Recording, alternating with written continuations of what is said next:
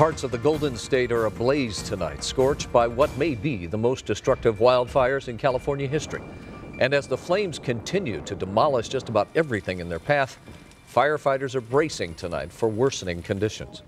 Hello, everybody. Welcome to the News at 10. I'm Rick Chambers. And I'm Courtney Friel. More than a quarter of a million Southern Californians remain under mandatory evacuation order right now. We have live team coverage with Chris Wolfe and John Fenoglio near the fire lines and Kaj Goldberg here in studio. But we start first with Tim Lin up above in Sky 5 who has the latest. And unfortunately, you're over a burning home. Hi, Tim.